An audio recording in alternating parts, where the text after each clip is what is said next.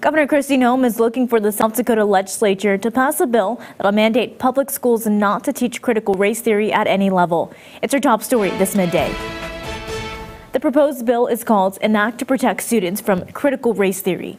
Teachers would be banned from discussing three core tenets. One, that any race, color, religion, sex, ethnicity, or national origin is inherently superior or inferior. Two, that people should be adversely treated because of the group they belong to. Three, that people are inherently responsible for the past action of other members in their group. Our bill would apply to state accredited school districts and universities under the Board of Regents.